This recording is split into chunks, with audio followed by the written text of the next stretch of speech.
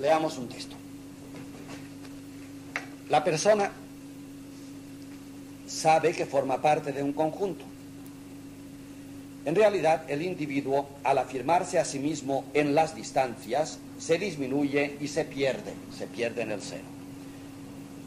Para ser plenamente persona, hay que avanzar en dirección inversa, en el sentido de la convergencia, ven ustedes a la convergencia, las flechas al revés, en el sentido de la convergencia con todo lo demás. La persona, por tanto, no es la afirmación de los rasgos propios del individuo, sino la afirmación de un total en el cual cada uno es el que es. Hay que avanzar en dirección inversa, en el sentido de la convergencia con todo lo demás, con el otro. El otro, que puede ser el que está al lado y el que está al infinito. Nuestra finalidad, el colmo de la originalidad, no es la individualidad, es la persona. Y esta, por la estructura evolutiva del mundo, solo podemos encontrarla uniéndonos. No hay espíritu, lo contrario de la materia, sin síntesis. La materia es análisis, La convergencia y la persona son síntesis. La materia es análisis, el espíritu es síntesis. Entonces, si el individuo al afirmar sus rasgos desde la debilidad de la cual viene. Cree que lo hará alejándose y que al alejarse está acercándose así porque se aleja de los demás. La persona es al revés. La persona sabe que la verdadera dimensión de uno está en la convergencia y que por tanto se acerca a sí mismo en cuanto se acerca a los demás. O si se quiere, al alejarse de sí, que es la diversidad o la pluralidad, se acerca a los demás, que son el centro de sí mismo, en la convergencia. Más fácil ya, y tenemos las palabras creo que explicadas para construir. El individuo es el afán de ingresar en sí mismo el contorno. ¿Para qué están ustedes aquí? Pues para servirme a mí. Esta es la afirmación del individuo. El mundo está hecho para mí. Y de hecho, como ustedes saben, se ha dado muchas veces y se ha dado incluso en política muy seriamente. ¿eh? Hay personas que creen que el mundo, los esclavos, los soldados y la sociedad están a su disposición. Esto es individuo. Esto solamente se puede afirmar desde la inmensa pequeñez del primer núcleo de la materia. En cambio, cuando uno dice, ¿el mundo para qué está? Pues el mundo está como un gran receptáculo para que yo me entregue. Aquel que pregunta, ¿qué es lo que pide el mundo de mí? Este afirma la persona. Por esto hay frases tan célebres que no lo parecen, ¿verdad? Cuando uno dice, Señor, ¿qué quieres que haga? Esto lo dice solamente una persona, un individuo no es capaz de decirlo. Un individuo dirá, Señor, ¿qué me ofreces? Eso es individuo. El que dice, Señor, ¿qué quieres que haga? Esto es una persona. La persona es darse, el individuo es comer. El individuo dice hacia mí, la persona dice hacia los demás. Pero cuidado, como la materia es principio de individuación y la materia es el principio de construcción, principio que luego se supera, como el edificio, el edificio no es la suma de los ladrillos, ni mucho menos. Ladrillos sumados no dan un edificio. El edificio es diferente, el espacio creado, del que son cada uno de los ladrillos. Así también la realidad del mundo y la que no conocemos, la realidad cósmica, está hecha de convergencias. Y de hecho, ahí viene el análisis final, de hecho, las personas somos lo que debemos a los demás. Hay que pensar un poco para llegar a la conclusión. Ninguno somos lo que nos hemos hecho cada uno. Somos si somos. Claro, si no somos, somos lo que nos hemos hecho. Pero si somos, somos lo que nos han hecho los demás. ¿Qué detalle tenemos cualquiera de nosotros? ¿Qué detalle tenemos que no nos haya sido dado por herencia, por ejemplo, por circunstancia, por formación, por reacción? En otras palabras, ¿quién de nosotros sería el que es si hubiese estado solo en el mundo. somos un montón de convergencias. Y tanto más serio es esto, que tanto más rico el hombre es, cuanto más debe a los demás. El que les debe a los demás una cosa o dos apenas es persona. El que debe a los demás dos millones de cosas, señal que las tiene los dos millones de cosas. Entonces es muy rico, pero se las debe a los demás. La visión, pues, de que la personalidad está construida sobre ladrillos que son de todos, que son la base del mundo y del ser, es la visión de que el ser del hombre no es la individuación, sino la personalidad. No venimos para ser individuos. El perro y el cerdo son individuos también. No se pueden cortar sin que se destruyan. La piedra, ciertos cristales, son individuos también. No se pueden cortar sin que se pierdan. En esto somos hermanos de la creación. El hombre tampoco se puede cortar, es individuo. Pero el individuo se le da como punto de partida. El individuo no nos distingue del animal del cual provenimos. Lo que nos distingue es la capacidad de, a partir del individuo, concentrar las fuerzas y ser deudores a los demás de todo aquello que nosotros somos. En otras palabras, que de alguna forma somos lo que somos en cuanto están presentes en nosotros los demás. O de otra manera todavía, los demás son aquello, si son diferentes de nosotros, que lo son, los demás son aquello que nos falta a cada uno para llegar a ser el que debemos ser. Luego, el ser que yo no tengo es el ser que tú tienes de mí. Y el ser que tú no tienes lo tengo yo por ti. Eso se llama fraternidad universal en términos religiosos que no tenemos para qué usar en estos momentos. Esta es la persona. Aristóteles dice que no hay más que una persona. Noesis, noesios, noesis. El pensamiento, pensamiento de pensamiento, esta es la única personalidad que existe. Digámoslo en términos religiosos, este es Dios. Dios es persona. Dios no es individuo. No, no tiene materia. Por tanto, no tiene principio de individuación. Dios no es individuo, es persona. Pues bien, todo aquello que nació de la individuación, que es la mínima base del ser, está lanzado en dos sentidos. Puede estar lanzado hacia el encuentro de sí mismo, que es el encuentro del cero, o puede estar lanzado hacia el encuentro de la personalidad, que es el encuentro con el todo. La única persona es Dios. Vamos a construir con este material, pero construir solamente los fundamentos, los cimientos de un edificio que se terminará, si Dios quiere, el próximo día. Individuo y persona, por tanto, se pueden definir así. Individuo es caminar hacia atrás, es entender que uno no necesita de nada, de nada y ni de nadie. Individuo es la vuelta hacia el cero. Individuo es la afirmación de lo que no se es. Persona es caminar hacia el centro, hacia la totalidad. Es la negación de sí mismo afirmando al otro. Esto quiere decir, yo no soy nada sin el otro. Y lo que el otro es, es lo que a mí me falta. Las dos palabras, por tanto, significan dos caminos opuestos. El individuo es un camino hacia mí, que apenas soy nada porque soy materia. La persona es un camino hacia el otro el encuentro con el otro enriquece la persona. Persona no se es nunca solitariamente, en dispersión. Persona se es siempre comunitariamente, en convergencia. El hombre es un individuo lanzado a ser persona. Por tanto, el hombre se pierde cuando se queda en el individuo, que no es más que su punto de partida. El hombre se logra cuando desemboca en la persona que es su punto de llegada. Cuando citemos a Spinoza el próximo día veremos que dice cosas muy gordas sobre la personalidad. Por ejemplo, puede uno llegar a entender que el individuo con rasgos propios, que es la afirmación de sí mismo, si realmente logra la personalidad, lo que hace es perderse y diluirse en el todo. Realmente. Si lo que llega a la masa inmensa del todo como una gota en el océano. Es el individuo, este se pierde. Pero si lo que llega a la masa del todo es la persona, este se afirma. Notemos que una personalidad de relieve no se afirma en la soledad, se afirma en la comunidad. El individuo, si está solo, subsiste y está solo.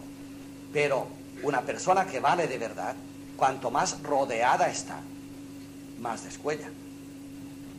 En otras palabras, que el desemboque en la personalidad no es la destrucción de la individualidad. Si se quiere, lo es en cierta manera. Es la afirmación de la persona. La persona que desemboca en el todo es la que se afirma. Uno es persona de verdad, inconfundible, total y completa, cuando desemboca en la totalidad. El que necesita la soledad para afirmarse es que es individuo. El que se afirma en la comunidad es que es persona. ¿Quieren ejemplos? Es muy fácil. Todos hemos estado en la escuela muchas veces, ¿verdad? Cuando un estudiante se da cuenta de que no puede triunfar porque en la clase hay cinco, seis o diez que le llevan delantera, cae en la envidia. Y la envidia le lleva a una conclusión. Si yo puedo socavar los cimientos de estos diez que me van delante y anularlos y neutralizarlos, yo triunfaré. ¿Se dan ustedes en cuenta lo que esto significa? Si yo puedo fabricar en torno a mí la soledad, cargándome a los que me van delante, yo triunfo. La soledad es la condición de sobrevivencia o supervivencia del individuo. Los que se dedican a tirar estatuas abajo, a socavar personalidades, a hacer vidas imposibles, es que son conscientes o subconscientemente conscientes de su individuación, de su no ser. Aquel que dice, bueno, yo veré de triunfar por encima de todos los demás, ayudándoles encima, empujándoles, este afirma su personalidad, este no fabrica la soledad, este en la comunidad intenta triunfar, este está seguro de sí. Luego, la guerra, la opresión, el ataque, son síntomas de debilidad, de individuación la convivencia, sea, la convergencia otra vez, la convivencia, el respeto mutuo, la libertad del otro, la aceptación del otro, son denunciantes de la propia fuerza, de la propia personalidad.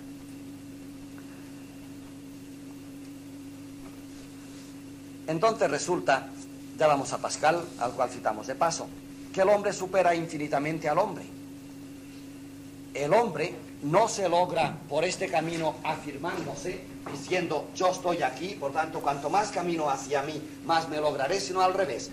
El hombre supera infinitamente al hombre significa, cuanto más yo me despegue de lo que actualmente soy, más me acercaré a lo que todavía no soy.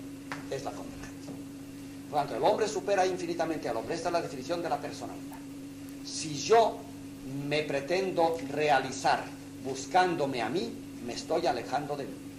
Si yo pretendo realizarme entregándome a los demás, al conjunto del cosmos, al agujero que, para el cual estoy hecho, por lo tanto, al conjunto, al engranaje al cual pertenezco, si yo me afirmo a mí buscando a los demás, estoy haciendo este camino de integración.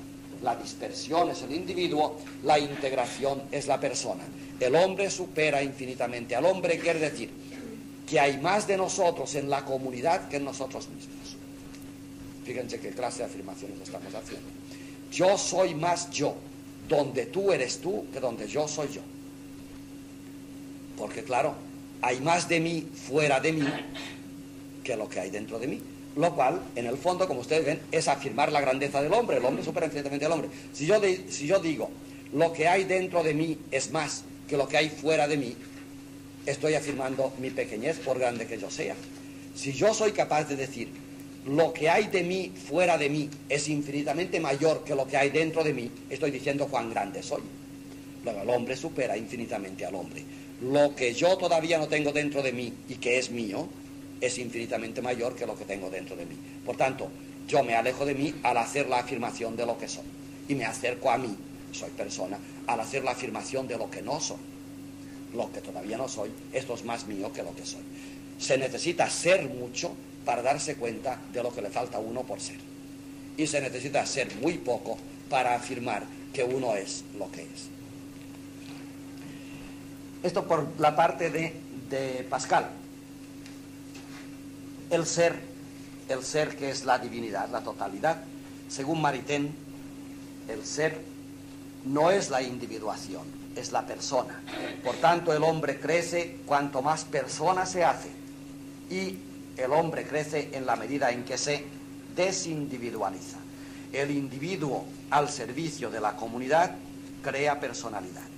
La persona al servicio de sí mismo crea individualidad, destruye y hace marcha atrás. Por esto Camus, Albert Camus, que ustedes conocen y admiran seguramente en obras como, como La peste o El extranjero, el mito de Sísifo, eh, era capaz de decir, él, que en realidad no había trascendido, por lo menos de una forma consciente, el ser trascendental, al ser trascendental del hombre, decía que es más en el hombre lo que es digno de admiración que lo que es digno de menosprecio. Eso mismo. Para ello hace falta entrever lo que el hombre es y no ver lo que el hombre es. Quiero decir que si miramos al hombre por lo que tiene de construido dentro de sí, muchas veces resulta muy odioso.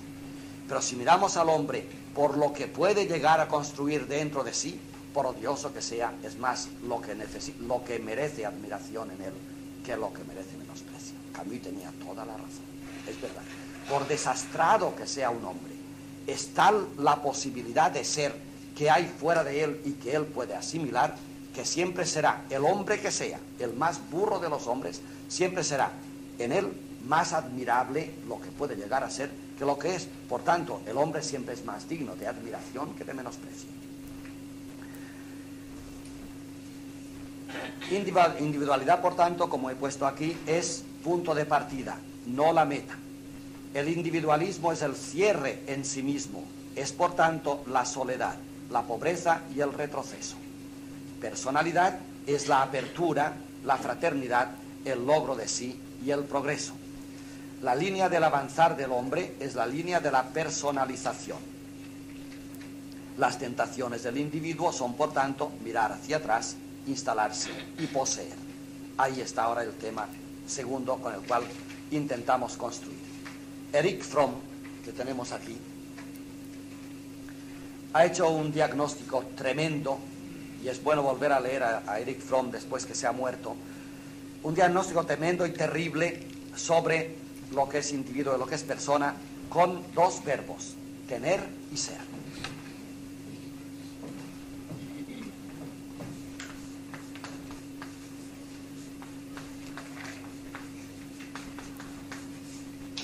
Tener es la palabra del individuo, es el verbo del individuo. Ser es el verbo de la persona.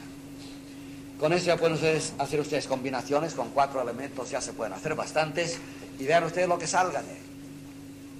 El verbo del individuo es tener, el verbo de la persona es ser. Por tanto, si el individuo apenas es nada y no es más que una catapulta lanzando una flecha hacia la persona. Y la meta de uno es la personalización, no la individuación. Es evidente que la meta de uno es ser y no es tener. Y Eric Fromm dice, buena meditación. ¿Qué diremos de una persona que cifra la meta de su vida en el poseer? Que es el descalabro de la personalidad.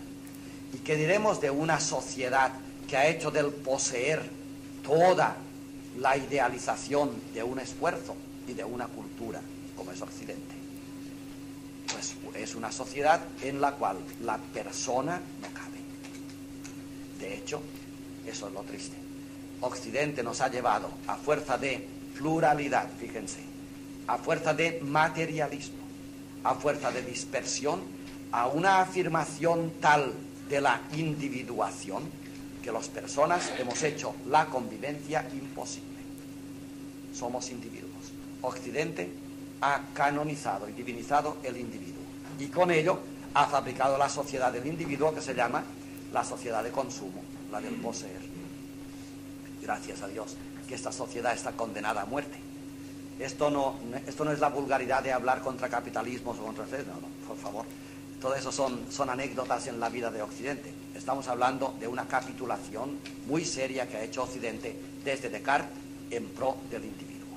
Descartes decía que el individuo, lo humano, son dos cosas, lo espiritual que es totalmente espiritual y lo material que es totalmente material y dispersos. Y que por tanto el hombre debe dejar lo espiritual para sus cosas espirituales e ir a explotar totalmente lo material y que la vida en esta vida es una vida de camino hacia el materialismo. Desde Descartes caminamos hacia la individuación, hacia el racionalismo, hacia la afirmación de nosotros mismos como individuos y a la fabricación de una sociedad hecha de individuos, el materialismo actual o la sociedad de consumo. Pero Eric Fromm el diagnóstico es cruel y dice, y es tan grande la capitulación que ha hecho Occidente y el hombre occidental de sí mismo, que ha creído y está convencido de que la grandeza del hombre se hace por el tener y además ha logrado una cosa que es imperdonable y es que se consuela del vacío de ser por la cantidad del tener. Hay mucha gente que se gloria de lo que posee y que se cree que al poseer es. Y van diciendo, estos son mis poderes. No, cito frases célebres, ¿eh? por favor, otra vez es anécdota. Y van diciendo, la tierra es mía. Y van diciendo, tengo 25 legiones disponibles. O van diciendo, tengo tal cantidad de armamento y tantas bombas atómicas. Estas afirmaciones son de individuación. Hay gente que se llena la boca enumerando las cosas que tiene, creyendo y logrando creer que esto es su propio ser. El hombre que tiene su ser en el tener no tiene ser. Y ahora al revés. El hombre que se desentiende del tener y es capaz, sin tener nada, de fabricar su propio ser, y hablo otra vez de tercer mundo, por ejemplo, si son capaces de hacerlo. El hombre que no teniendo nada tiene ser, se puede reír olímpicamente de todo lo que tienen los que tienen si no tienen ser. Es una tremenda lección para el mundo actual, ¿verdad? Y piensen ustedes como cuán verdad es lo que dice Eric Fromm. Occidente se gloria, lean ustedes la tercera ola o lean el desafío de el desafío mundial de, de Schreiber, verán. Occidente se llena todavía la boca de sus posesiones. Es más, los occidentales creemos que el día que perdamos ciertas posesiones, no ya en colonias, sino en dinero, o en carburante, o en comercio posible, o en exportaciones, Occidente se viene abajo. Lo triste es que es verdad. Si perdemos lo que poseemos, nos venimos abajo porque no somos. Es triste. En cambio, aquel que es puede ver sus posesiones todas viniéndose abajo. Como son anecdóticas sus posesiones, él no se viene abajo, aunque se lo quiten todo.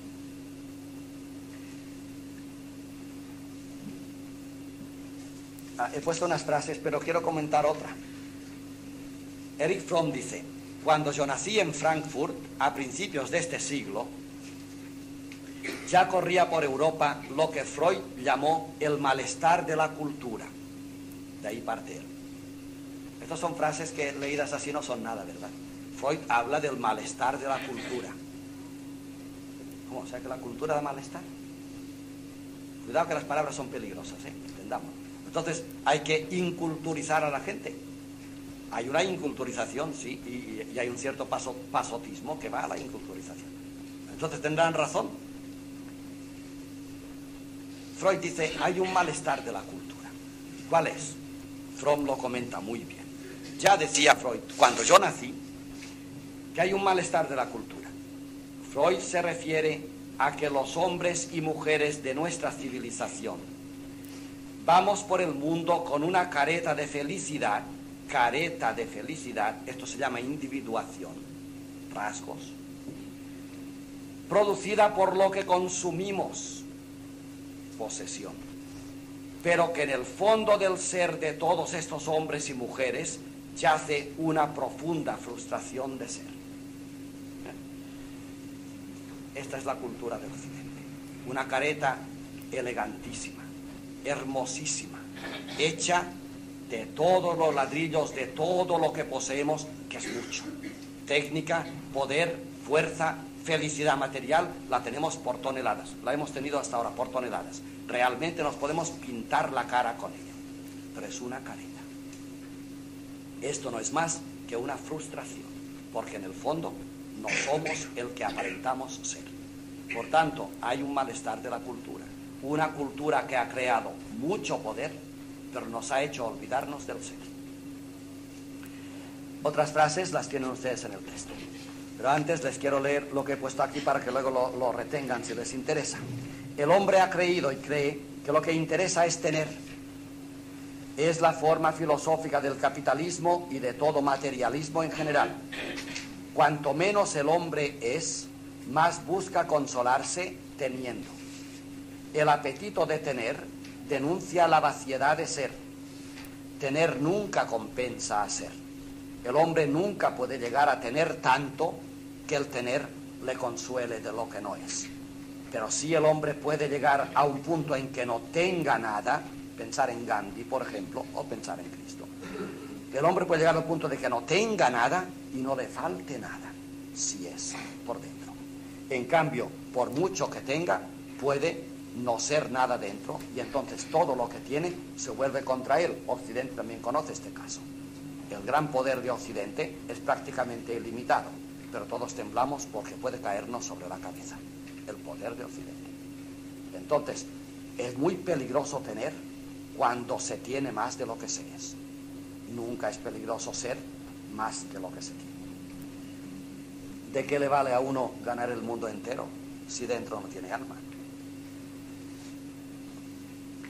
Fromm dice, la conciencia de la separación humana, subrayen separación ya entienden todo lo que está en la pizarra, la conciencia de la separación humana, separarnos unos de otros, nunca los humanos habíamos vivido tan amontonados. Ciudades de 10 millones de habitantes, como Calcuta, por ejemplo, no habían existido jamás. Nunca el hombre había vivido en racimos o en colmenas como hoy. Y nunca las distancias entre hombre y hombre fueron tan grandes. Cuando en nuestra juventud todavía el mundo estaba ruralmente poblado, las fincas estaban a 30, 40, 50 kilómetros unas de otras, los caseríos. Pero cuando uno de un caserío a otro se encontraba con su compañero, era una fiesta. Hoy salimos del mismo piso o de puertas adyacentes, no nos saludamos ni nos conocemos. Hay más distancia de puerta a, puerta en una misma finca que la había hace 50 años de caserío a caserío, 50 o 100 kilómetros. Nunca el hombre había estado tan cerca y nunca había vivido tan lejos. Es inhumano el convivir que hacemos. Bueno, pues la conciencia de la separación humana es la fuente de la vergüenza. Fromm no cree. Fíjense qué afirmaciones. La fuente de la vergüenza humana actual es la separación, la distancia que nos separa. Somos individuos el individuo se afirma alejándose. La persona se afirma viniéndose. Una civilización que crea distancias, y las nuestras son monstruosas, es una vergüenza. Bueno, pues la separación humana es una vergüenza, es el vacío de ser y la afirmación del tener. Es al mismo tiempo la fuente de la culpa y de la angustia, ese famoso angst de que hablan tanto los existencialistas, la angustia vital todos tenemos angustia vital, una angustia de identidad. No tenemos identidad. Ustedes han oído que los matrimonios se desmontan porque no hay identidad. La juventud está atolondrada y loca y drogada porque no se toca ser por dentro, porque no tiene identidad. los estamentos, la religión, los curas, nos perdemos por ahí porque no tenemos identidad, no tenemos carnet de identidad, no nos encontramos a nosotros mismos. O sea que los productos últimos, la última hora de los productos de Occidente, son unos productos sin identidad. Ya estamos diciendo lo que queremos. Estamos vacíos por dentro, tenemos mucho, pero no somos nada, no tenemos identidad. Luego dice Freud, eh, Fromm, la conciencia de la separación humana es la fuente de la vergüenza y de la culpa y de la angustia esa culpa que empezamos a sentir. Estamos equivocados. Esto funciona mal. Esto se termina. Esta culpa y esta angustia que no nos deja estar tranquilos, que nos tiene crispados constantemente, es el vacío que llevamos dentro. Por primera vez, Occidente se da cuenta de que produciendo cantidades industriales de toda clase de cosas y ofreciendo más que las ganas que tenemos de poseer, la realidad es que por dentro estamos sumamente tristes, inconsolables. No somos. La angustia del mundo actual, la terrible angustia, es una vaciedad de ser. La angustia es el fruto del tener, es la vaciedad del ser. Y añade Fromm, esto irá para comentario después, el amor es la preocupación activa por la vida y el crecimiento de lo que amamos. Amar es la palabra del ser. Ser es amar. Tener es tener envidia u odiar. Amar es poseer, tener, pero tener de verdad, o sea, darse, es la riqueza del ser. A veces entendemos a través de la palabra deliver, de que hable el tanto. Hoy hablamos tantas veces, make love. ¿eh? Bueno, pues estas palabras, de hacer el amor, son tremendamente significativas. Claro que hay que hacer el amor. No quizá como se entiende anecdóticamente, sino a profundidades de persona. El hombre que de verdad posee, afirma su posesión comiéndole terreno al otro. Este no ama, el individuo es incapaz de amar. El hombre que de verdad posee y tiene riqueza, lo primero que siente es la necesidad de darse. El hombre se afirma en la medida en que se da. Ser, por tanto, es darse. Es curioso. Si yo les digo, les regalo este transistor, ustedes se reirán de mí, ¿verdad? No es mío. No es mío. No lo puedo dar. Esta frase tan, tan gramatical es tremendamente profunda. O sea, lo mío no lo puedo dar. Consecuencia. Entonces, lo que puede dar, lo que puedo dar es lo mío. Démosle la vuelta. Lo que de verdad es mío es lo que puedo dar. ¿Se dan ustedes cuenta? Lo que de verdad es mío es lo que puedo dar. No lo que puedo poseer. Que una cosa sea mía no significa que la puedo retener, significa que no la puedo retener. Lo que de verdad es mío es lo que puedo dar. Por tanto, lo que no damos, lo que no queremos dar, es la afirmación del individuo, es tener, es pobreza, es retroceso. Lo que estamos dispuestos a dar, lo que de verdad damos, es camino hacia la persona, es ser.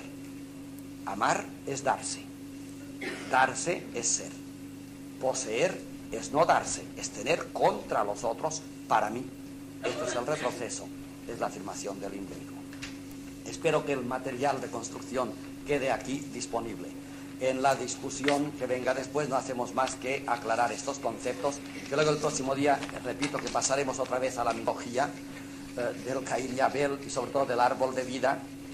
Y verán ustedes qué resultados dan estas cosas. Sí quiero decir una cosa una vez más, es que estoy muy acostumbrado a hablar mal de Occidente, porque soy muy occidental, tan occidental que pienso que el día que muera Occidente me muero yo.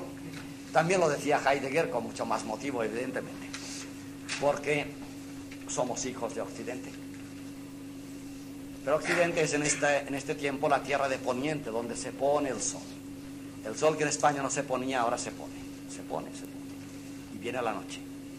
Viene la noche. Y en la noche, todo aquello que son posesiones ni se ven ni se tocan. Sirven para tropezar. Vayan ustedes por la noche en una casa con muchos muebles y verán lo que pasa. En la noche se salva lo que es, que esto no estorba ni hace tropezar a nadie. Hablamos mal de Occidente, quiere decir que Occidente ha terminado, pero que estamos convencidos, los occidentales de pro, que Occidente, aun cuando ha creado una civilización de tener, de comodidad,